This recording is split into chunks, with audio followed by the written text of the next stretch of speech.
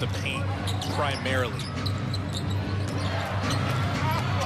Perfect. Draymond finding the little big man. It's Jordan Poole again, just making the right read. Two defenders commit to him. Everybody knows.